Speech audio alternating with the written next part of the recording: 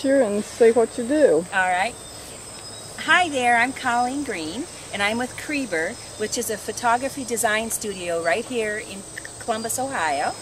Uh, we do a lot of photography for the major retail stores in catalogs and newspaper advertising.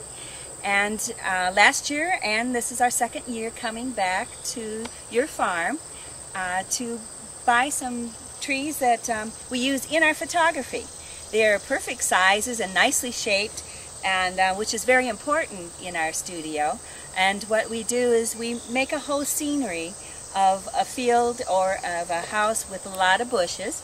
And this just happened to be one of the pictures that I had brought with me just to kind of show Linda what we do. And here's one of our trees, and then there's a couple others, and then they kind of curved around because we did like six or seven different shots. Um, this happened to be a blow up in the snow that we created with her trees in the in the um, ad we did, and this was happened to be for Big Lots.